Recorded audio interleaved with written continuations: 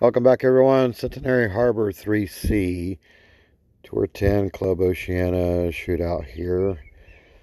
So, uh, using the new digital ball, got a 5 mile an hour cross tailwind here. So, going at it uh, with APOC and uh, ended up putting uh, about three and a half bars backspin on it there, no side spin. Alright, so just going to draw back five rings.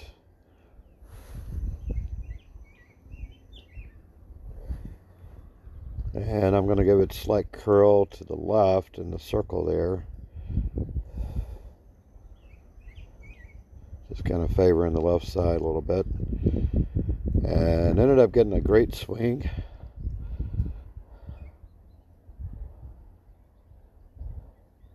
And rolls up and comes back down straight to the hole.